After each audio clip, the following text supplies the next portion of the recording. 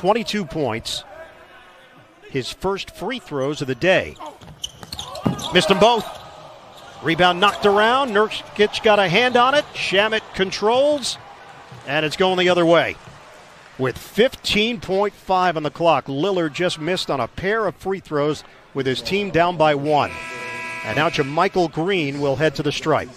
Lillard, an 87% free throw shooter, missing those.